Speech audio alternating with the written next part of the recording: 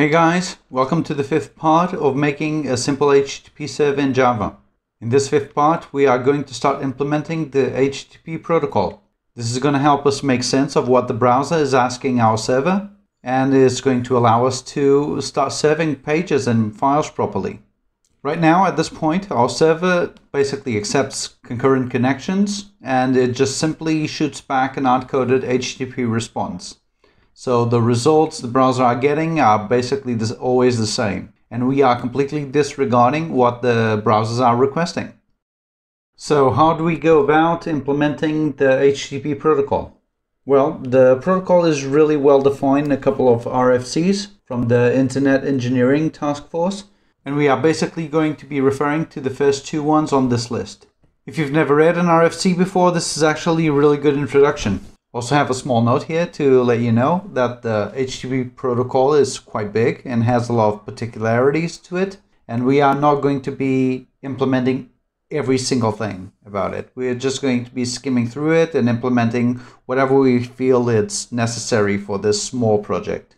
So before we dive into the RFCs, I want to grab a request from the browser that our server receives just so that we can use it as an example later on and see what's going on. So to do that, we go to the HTTP connection worker thread and we use the input stream that we get from the socket to read the bytes that are coming in.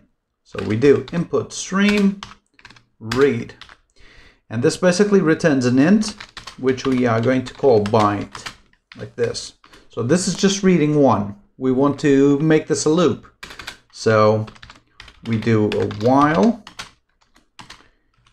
and we say that the byte equals to this read. And we keep on going while it is bigger than zero like so. And now we use system out and we print the char sorry char like this we say that we cast the int to a char like so. Let's give it a run. And let's call it. Let's see what happened here. Okay, perfect. We have our first uh, HTTP request received from the from the browser. It apparently got stuck here and the reason is because the we are still on this loop. Although the browser isn't sending anything else, we are still on this loop because we haven't received anything that's smaller than zero. But that's fine, we just need this as an example. Let's stop this and let's create here a small file which we're just going to call request.txt. So and let's place this in there. Perfect. I'm also going to place it here on a slide so we can follow along. So let's jump into the RFCs now. So let's grab straight away the RFC 7230. We're just going to skip this bit and jump straight into the table of contents. So the first section here, number one, is going to basically describe the notation that this document uses. The second bit, it's going to describe how the protocol is supposed to work and 2.7 is actually quite interesting and it's going to be important to understand the URI scheme that it's used on the requests. But let's jump straight away into message format. This is chapter 3. So chapter 3 starts straight away with a small description of what the HTTP message should look like and then we have this notation, which basically explains each section of the HTTP message. A very important detail that we should be looking for is also the encoding that's going to be used. And in this case, it's US ASCII. So an HTTP message has to start off a start line, and we can visualize it like this. Then it can have zero or more header fields. So a header field, and because it can have more than one, we do this. But it also can have zero header fields, which leads to the carriage return line feed that separates the header fields from the message body. And we finish the HTTP message. But looking at the RFC, we understand that the message body is actually not mandatory, it's optional. So we update the diagram to reflect that. So let's zoom in so we can start breaking down some of these sections. And we start with the start line, which is 3.1 of this document. So a start line is either a request line for requests or a status line for responses. Let's update the diagram again. And because what we are really interested right now is on the request line, because we are passing requests, let's move to the request line bit. So over here, we see that a request line is basically a method, and then it has a space and a request target and a space, HTTP version, and a carriage return line feed. Let's update the diagram one more time. And now for the method, we see that a method is actually equals to a token. And a token is defined on the RFC 7231, section 4. Let's jump to it. And basically we have here a description of all the methods that we can implement.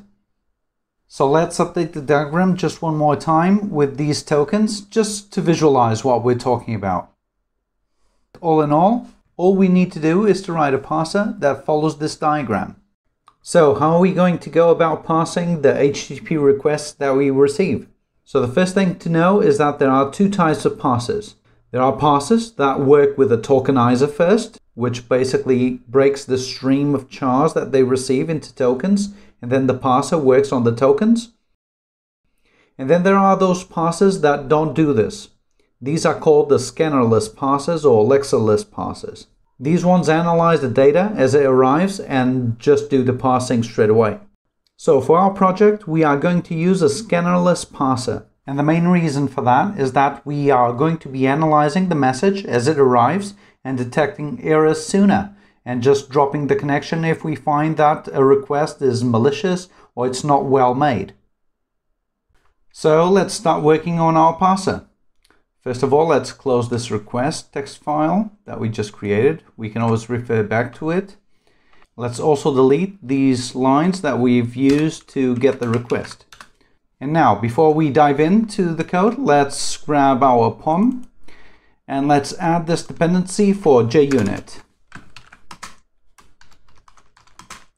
So, and dependency and the group is going to be org junit unit dot Jupiter. So like this one exactly, and release and keep the scope as test. We'll be using JUnit while we develop to test our parser. Let's close this and let's start doing our parser. So in here, we are going to create a new package called HTTP, like so. And we are going to create a class which is called HTTP parser, like this. Let's also create the logger now.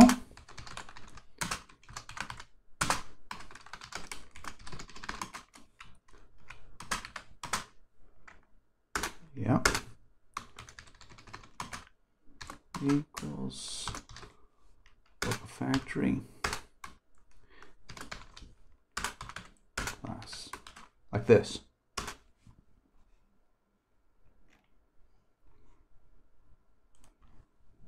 And let's create a method to pass the HTTP request. We are going to name it pass HTTP request. Like this and we are going to make it receive an input stream. That is because that's what we have while we are working on the socket, like this. Now you notice that we are not making our method static and that's basically a design decision. This is going to make us have to create an HTTP parser for each of the threads that we are working with. This is going to allow us to do some configurations on the HTTP parser. This, this is a design choice. You could do it with a static and basically use the same method in every thread, I would much rather have a HTTP parser object in each thread and basically use it. Now let's create a JUnit for this method. So we do generate test and we are going to select this method and create OK. Add. And let's create an object scope variable of the type HTTP parser. And let's create a before class method.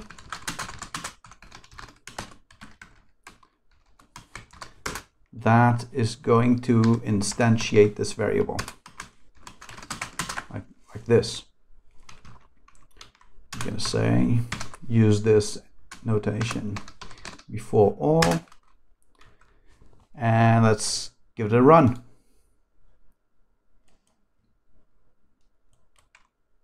Should give us some errors when we run it now. Yeah, that's because we didn't make it static. So I'm just going to add this annotation to the class like this. And let's give it a run again. Perfect.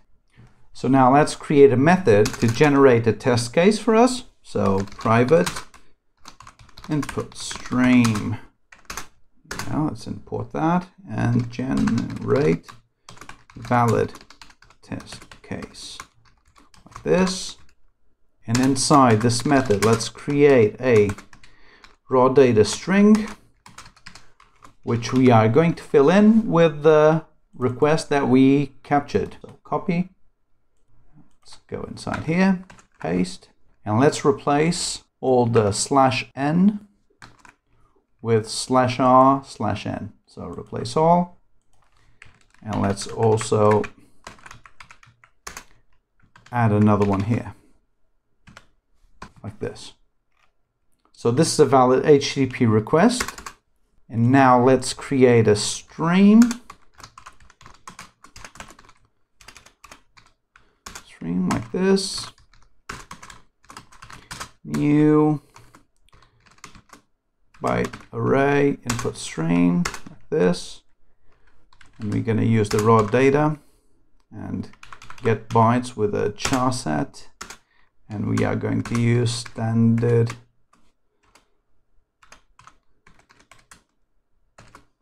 char sets this US ASCII.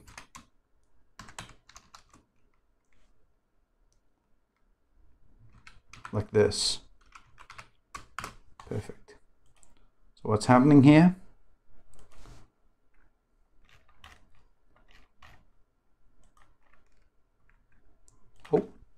we are importing the wrong one. Let's see what it tells us. Perfect. And now we have a problem with the language level. So let's open the POM. Let's go over here and add some properties. This.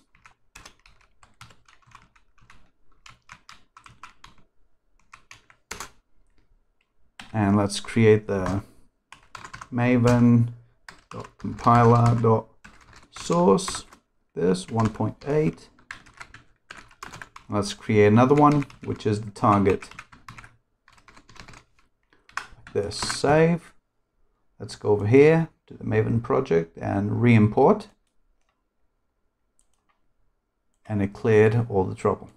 Okay, and now we return the input stream.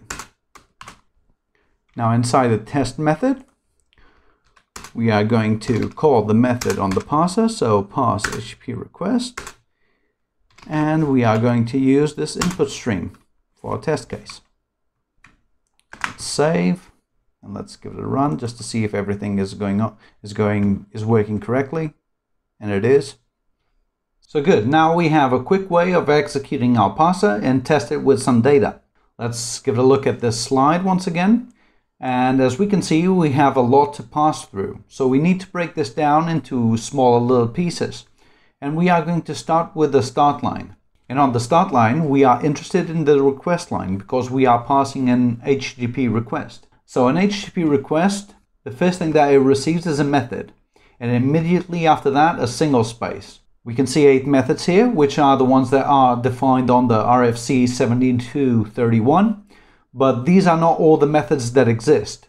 There are a lot more. And according to the RFC, the ones that we really do need to implement to make our server compliant are basically the get and the head. The RFC also states that the request methods are case sensitive, and by convention, the standard methods are basically in all uppercase. Then it goes on to say that if a method is not recognized, we should return an error code of 501 and if we recognize the method but for some reason it can't be executed, we shoot uh, a 405. And we have everything set up and ready, and this is basically all the theory done, and we can start writing the parser. I'll stop now because this is going on for already 15 minutes. But before I go, I'd like to thank Neagu Andrei for pointing out an error on the previous code, which is now fixed here. And there are a couple of links in the description. Don't forget to check them out. And we have this code now on GitHub as well. So you can go and check it out over there. It's going to get updated as we go. And thanks so much for sticking around. And don't forget to like, subscribe, and leave any comments that you may have. Thanks so much and see you in part 6.